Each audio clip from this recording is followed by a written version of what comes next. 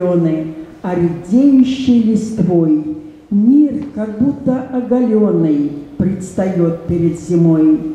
В этом тягостном прощании скрыта тайная любовь и святое обещание в том, что все вернется вновь. Снегом все зима укроет и украсит серебром.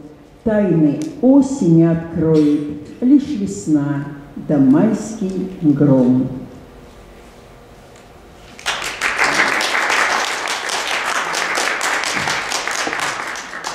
Это все осенняя тематика.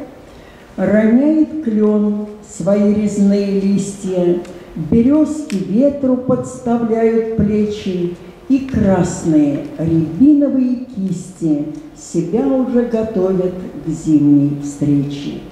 А чтобы осень не казалась грустной, Осенние лучи нам шлют приветы, Которые с любовью безыскусно Дают на все понятные ответы.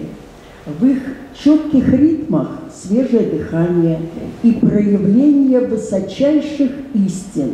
В природе нету признаков страдания, а есть лишь форма продолжения жизни. Ну, это и к нам относится. И последнее, я хотела э, тоже подчеркнуть, что Осень – это время раздумий, потому как мы становимся зрелыми и по-другому рассматриваем и себя, и жизнь, и себя в этой жизни. У осени есть два лица. Боль увядания и зрелость, которая рождает смелость познать все тайны до конца – и вот в такое время года нам посылается прозрение, и в ярких красках озарения вновь раскрывается природа.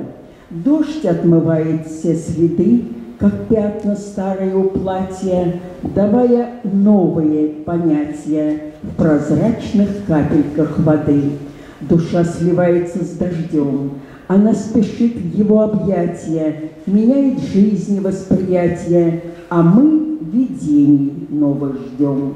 Прекрасна осень, вдохновенно, в порывах ветра листья сбросив, она лишь осмысление просит, таинственно, проникновенно. Осенних дней очарование вселяет мудрость в наши души, и хочется лишь ветер слушать, совсем забыв об увидании.